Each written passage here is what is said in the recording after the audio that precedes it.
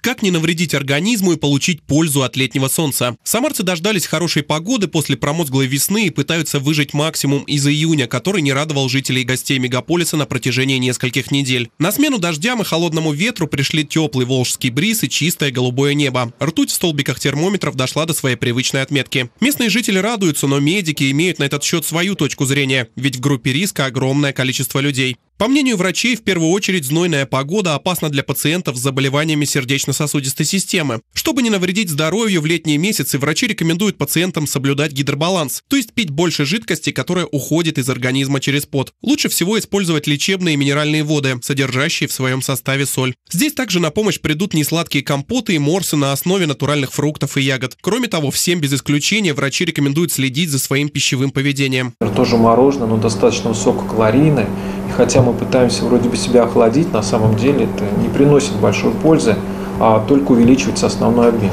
Рекомендуется есть э, достаточно простую пищу, овощи, фрукты, э, окрошку, нами всеми любимую, овощные супы – это вот оптимальное питание. В жару людям, имеющим проблемы с сердечно-сосудистой системой, необходимо советоваться с медицинскими работниками. При повышении артериального давления и учащении частоты сердечных сокращений нужно увеличивать дозировку принимаемых препаратов. Скорректировать базовую терапию может только доктор, поэтому заниматься самолечением ни в коем случае нельзя. А вот те, у кого нет проблем со здоровьем, не спешат активно сопротивляться жаре. Самарцы соскучились по лету и наслаждаются каждым мгновением. Борьбы никакой нет, наоборот, надо радоваться, что э, жара. А так питье закаливание.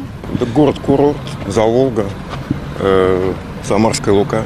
Кататься по утрам, ну, немножко перекраиваешь расписание, встаешь пораньше, катаешься. Ну, по-моему, я не сопротивляюсь вообще этому. Это же хорошо, тем более, что такая холодная весна.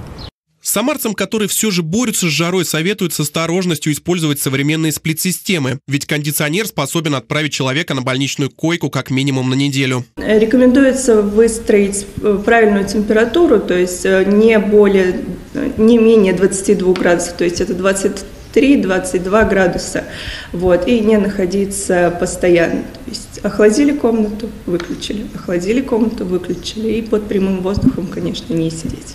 И напоследок, для тех, кто планирует активно провести купальный сезон на водоемах Самары и других населенных пунктов нашего региона, врачи не рекомендуют проводить в воде слишком много времени. Лучше чередовать прием солнечных ванн и забавы на воде. Берегите себя и будьте здоровы. Анатолий Головко, Константин Головин. События.